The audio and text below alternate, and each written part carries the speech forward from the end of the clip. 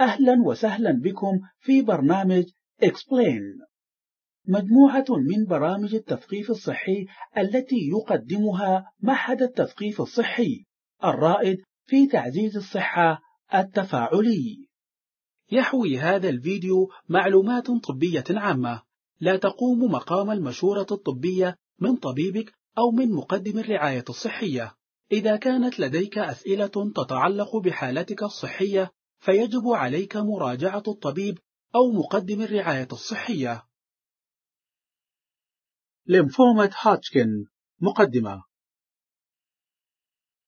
لمفومة هاتشكن هي نوع من السرطان الذي يبدأ في خلايا الجهاز المناعي والجهاز المناعي يقاوم الأمراض المعدية والأمراض الأخرى. تنشأ لمفومة هاتشكن عندما تصبح خلايا من الجهاز المناعي شادة وتبدأ بنسخ نفسها بطريقة غير مضبوطة. تعد لمفومة هاتشكن قابلة للمعالجة إلى حد كبير. يمكن شفاء معظم الناس الذين يوضع لهم تشخيص الإصابة بلمفومة هاتشكن هذه الأيام أو يمكن السيطرة على مرضهم لسنوات عديدة. يشرح هذا البرنامج لمفومة هاتشكن كما يشرح أسبابها وأعراضها والأساليب المتاحة لمعالجتها. التشريح. الجهاز الليمفي هو جزء من الجهاز المناعي حيث يقاوم الجهاز المناعي الأمراض المعدية والأمراض الأخرى ويتكون الجهاز الليمفي من الأوعية الليمفية والليمف والعقد الليمفية. يبدو الليمف كسائل رائق تقريبا ينتجه الجسم ويقوم بنزح الفضلات من الخلايا وهو ينتقل عبر الجهاز الليمفي الذي يتألف من شبكة من قنوات وبنى تشبه حبة الفاصولياء تدعى العقد الليمفية. وتوجد مجموعات من هذه العقد الليمفية في الرقبة وتحت الإبطين وفي الصدر والبطن وفي المنطقة الأربية تحوي العقد الليمفية خلايا من الجهاز المناعي تعمل كحاجز يوقف البكتيريا والفيروسات ويمنعها من مهاجمة الجسم. وتصنف هذه الخلايا في فئتين واسعتين تدعيان الخلايا التائية والخلايا البائية. تتصل العقد الليمفية فيما بينها بواسطة قنوات خاصة تسمى الأوعية الليمفية. وتنتشر هذه القنوات في معظم أنحاء الجسم كالأوعية الدموية ويستخدم الجهاز الليمفي هذه الأخنية لنسح السوائل الفائضة والفضلات. هناك أجزاء أخرى من الجسم تحوي نسيجا لمفيا تشمل اللوزتين، غدة التوتة، الطحال. هناك أجزاء أخرى من الجسم تحوي النسيج الليمفي. المعدة، الجلد، الأمعاء الدقيقة. ليمفومة هاتشكن وأسبابها. داء هاتشكن هو نوع من الليمفوما والليمفومات هي سرطانات تحدث في الجهاز الليمفي بدءا من خلايا الجهاز المناعي البائية. تحوي الخلايا مادة وراثية أو جينية تدعى الصبغيات وتتحكم الصبغيات بنمو الخلايا وتكاثرها. تنمو الخلايا الطبيعية في الجسم وتموت وفق آلية مضبوطة. عندما تصبح صبغياتها شاذة تفقد الخلية قدرتها على التحكم بنموها وتكاثرها. تبدأ خلايا من الجهاز المناعي عند الإصابة بلنفومة هاتشكن بالتكاثر على نحو شاذ وتدعى الخلايا الشاذة في معظم حالات لنفومة هاتشكن خلايا ريد تيرنبرغ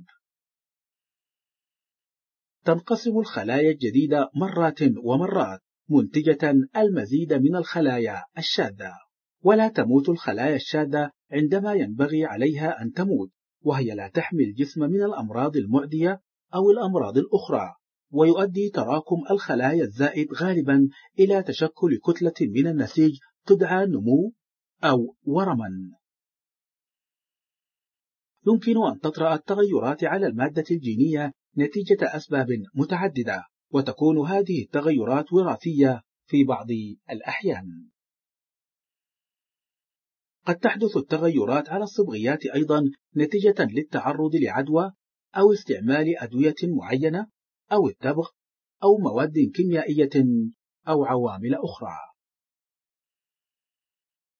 ومن عوامل الخطر الأخرى للإصابة بلمفومة هاتشكن العمر تاريخ عائلي للإصابة باللمفومة الجنس إذ أن الذكور أكثر تعرضا للإصابة من الإناث إصابة سابقة بفيروس أبشتاين بار وضعف الجهاز المناعي.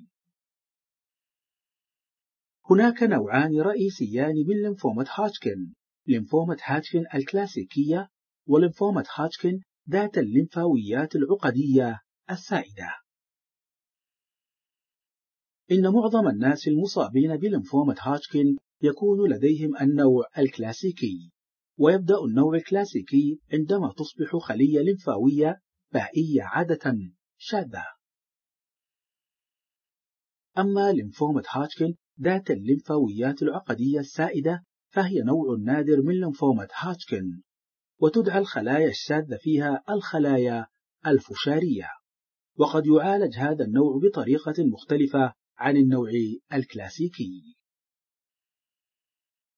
يمكن أن تنشأ لمفومة هاتشكن في أي مكان من الجسم تقريبا ذلك أن النسيج الليمفي موجود في كثير من أجزاء الجسم.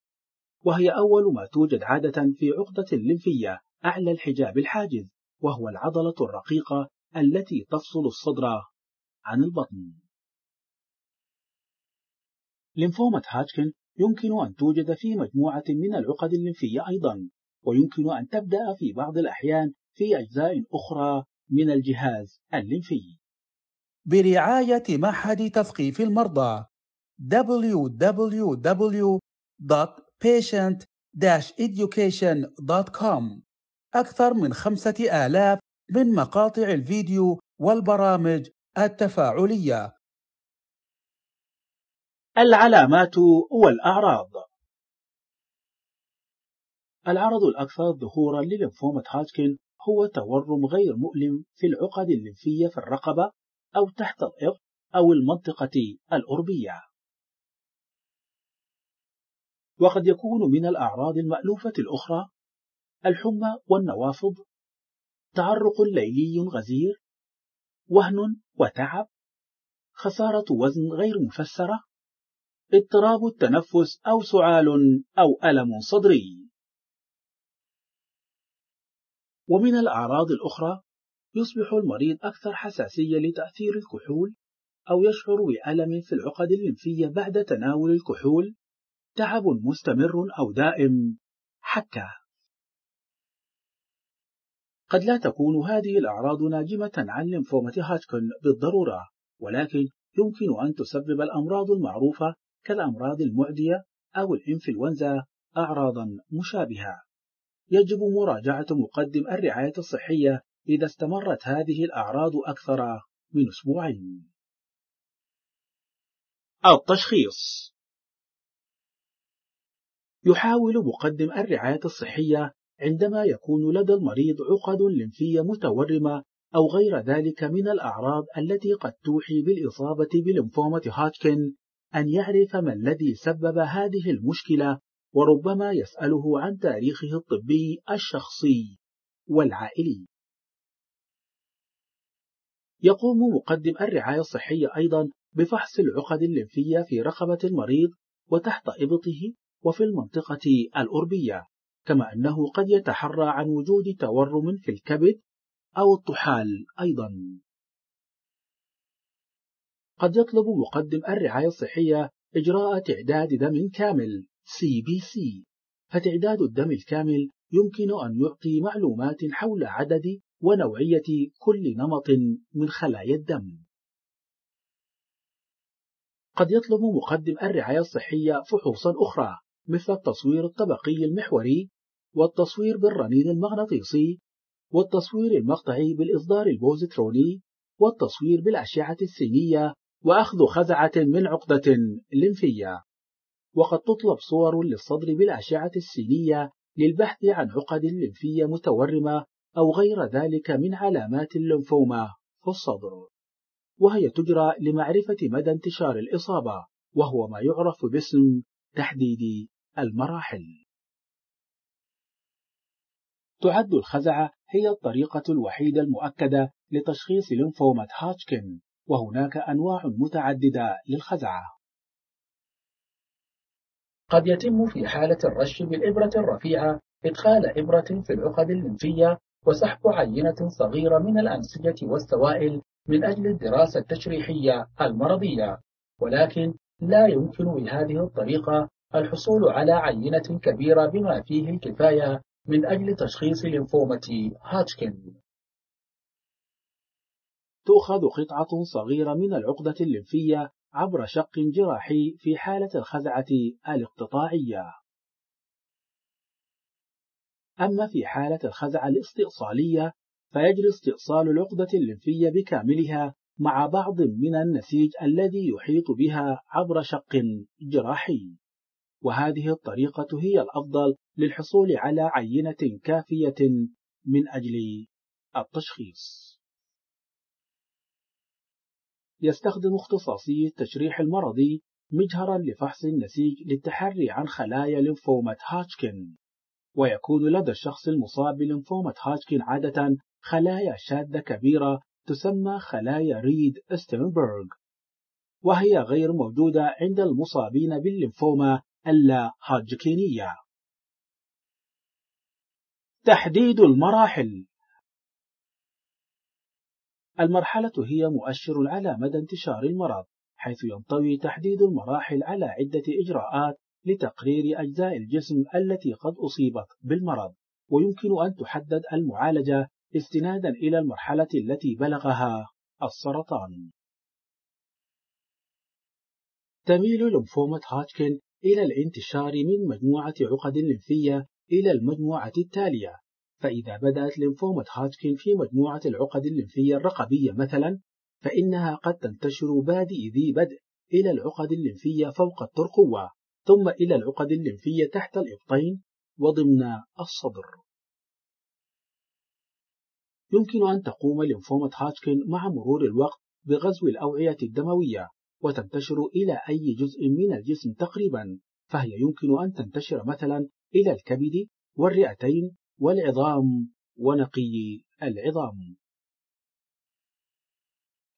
قد يحتاج تحديد المراحل إلى إجراء تصوير طبقي محوري وتصوير بالرنين مغناطيسي وتصوير مقطعي بالإصدار البوزيتروني وأخذ خزعة من نقي العظام.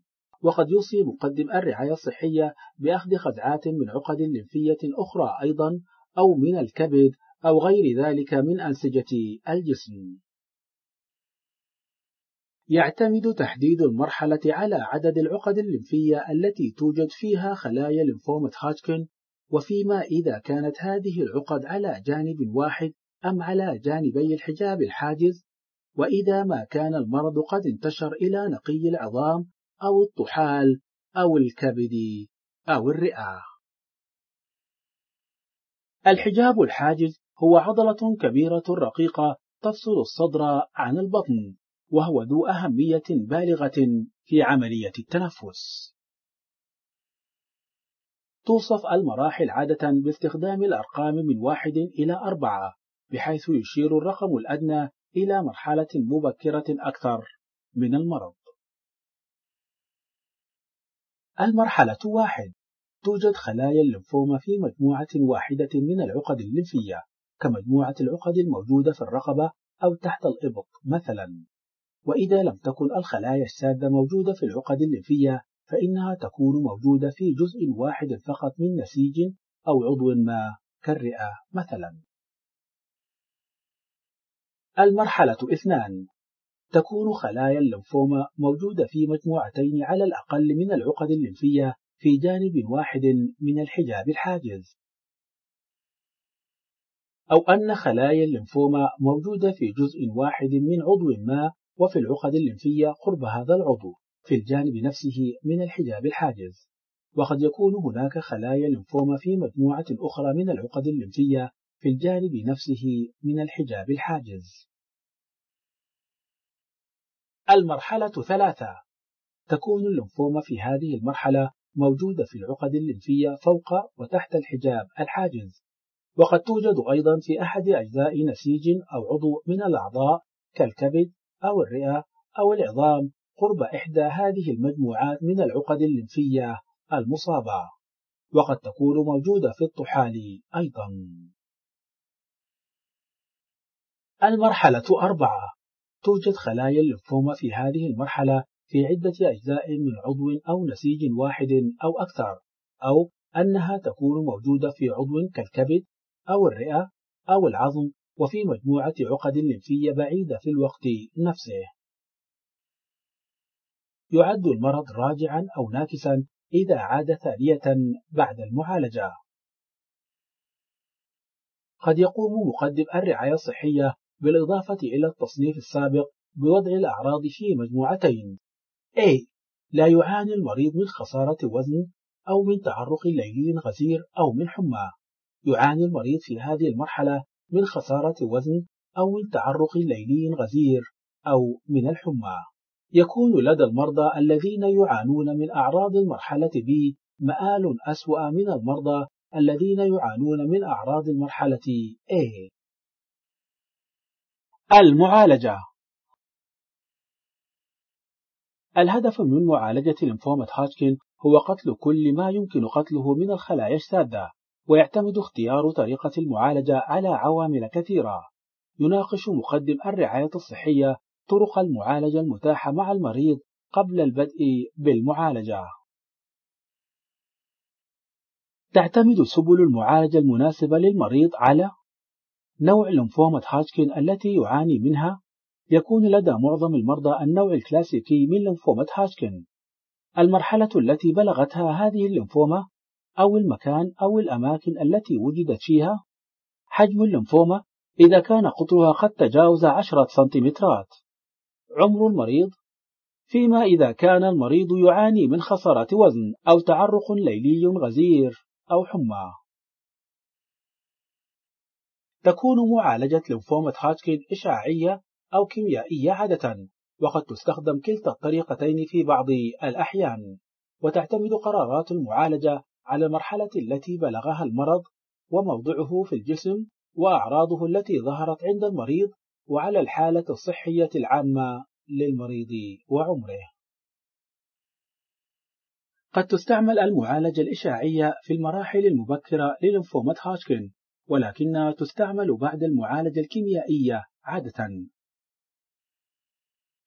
تستعمل المعالجة الإشعاعية أشعة عالية الطاقة لقتل خلايا السرطان ووقفها عن النمو والانتشار، وتأتي الأشعة التي تعالج الخلايا من جهاز يصوب الأشعة إلى بقعة محددة من الجسم. قد تعالج الحالات المبكرة للمفومة هاتشكن ذات الخلايا العقيدية السائدة بالأشعة وحدها. يتلقى مرضى لمفومة هاتشكن المعالجة الإشعاعية غالبا كمرضى خارجيين في المستشفى أو في العيادة وينبغي أن تعطى لمدة خمسة أيام في الأسبوع لعدة أسابيع ويقصد بالمرضى الخارجيين أن المرضى يذهبون إلى منازلهم بعد كل جلسة معالجة ترتبط الآثار الجانبية للمعالجة الإشعاعية بشكل رئيسي بنوع هذه المعالجة وجرعة هذه المعالجة والجزء من الجسم الذي يخضع للمعالجة.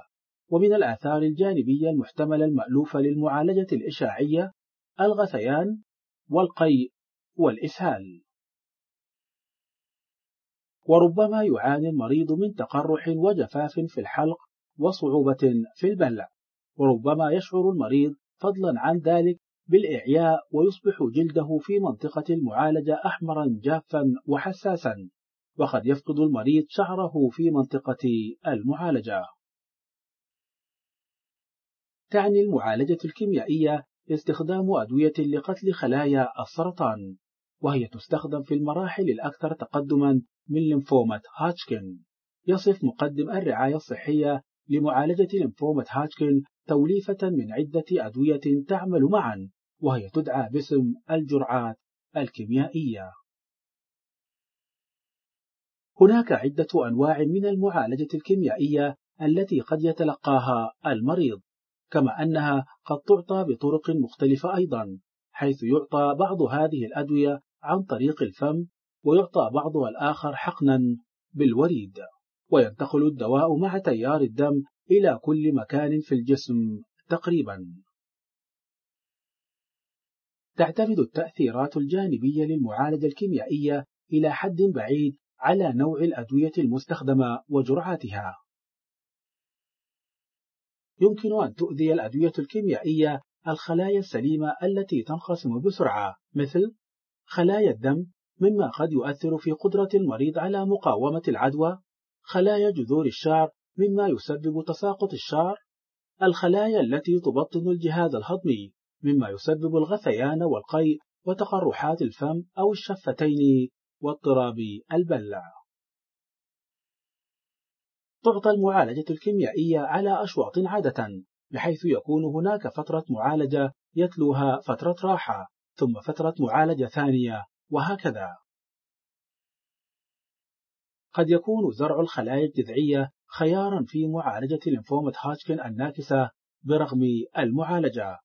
والخلايا الجذعية هي خلايا تتيح لنقي العظم أن يعيد إنتاج جميع خلاياه الدموية. تجري عملية زراعة الخلايا الجذعية في المستشفى. ويتم في هذا النوع من المعالجة أخذ الخلايا الجذعية بجمعها من متبرع أو من المريض نفسه. ثم تجميدها وتخزينها لاستعمالها في وقت لاحق. وقد تحتاج هذه الخلايا إذا كانت قد أخذت من المريض نفسه إلى معالجة لقتل خلايا الليمفوما التي قد تكون موجودة بينها وذلك قبل تجميدها وتخزينها. تستعمل جرعات عالية من المعالجة الكيميائية والإشعاعية للتخلص من نقي العظم ومعه كما يؤمل جميع الخلايا. السرطانية. ثم تعطى الخلايا الجذعية للمريض بعد ذلك بواسطة أنبوب مرن يوضع في وريد كبير في رقبة أو صدر المريض وتنمو خلايا دم جديدة من الخلايا الجذعية المزروعة. يمكن استعمال خلايا جذعية مأخوذة من جسم المريض نفسه أو من متبرع وهناك عدة أنماط من زراعة الخلايا الجذعية منها زراعة الخلايا الجذعية ذاتية المنشأ زراعة الخلايا الجذعية خيفية أي غيرية المنشأ زراعة الخلايا الجذعية إسوية المنشأ. يتضمن العلاج المستهدف استخدام الأدوية التي تستهدف وتدمر خلايا السرطان دون الإضرار بالخلايا الطبيعية. يجب سؤال مقدم الرعاية الصحية إذا كان العلاج المستهدف مناسبا لك. يكافح العلاج المناعي أو العلاج البيولوجي السرطان من خلال تعزيز الجهاز المناعي في الجسم. قد يساعد الجسم على قتل الخلايا السرطانية أو إبطاء نموها أو منعها من الانتشار. مثل أي علاج للسرطان يمكن أن يكون للعلاج المناعي مخاطر وآثار جانبية. قد لا يكون العلاج المناعي مناسبا لجميع مرضى السرطان. لا تزال بعض أنواع العلاج المناعي قيد الدراسة في التجارب السريرية.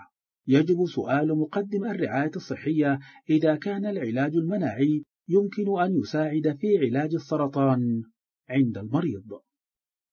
إذا أعجبك هذا الفيديو الرجاء الإعجاب والمشاركة. لمشاهدة فيديوهات مشابهة يرجى الاشتراك في القناة. الخلاصة. مرض هاتشكن هو نوع من الليمفوما. أما الليمفومات فهي سرطانات تنمو في الجهاز الليمفي الذي يعد جزءا من الجهاز المناعي للجسم. وعمل الجهاز الليمفي هو مقاومة الأمراض والعدوى. تحدث لنفومة هاتشكن بسبب تبدلات في المادة الجينية ويمكن أن تحدث هذه التبدلات نتيجة لأسباب مختلفة قد تكون وراثية في بعض الأحيان. كما قد تحدث التبدلات في الصبغيات أيضا نتيجة التعرض لبعض الأمراض المعدية أو أدوية معينة أو التبغ أو بعض المواد الكيميائية أو عوامل أخرى. تستخدم في تدبير ليمفومة هاشكين عادة المعالجة الإشعاعية أو المعالجة الكيميائية أو المزج بينهما أو زراعة الخلايا الجذعية.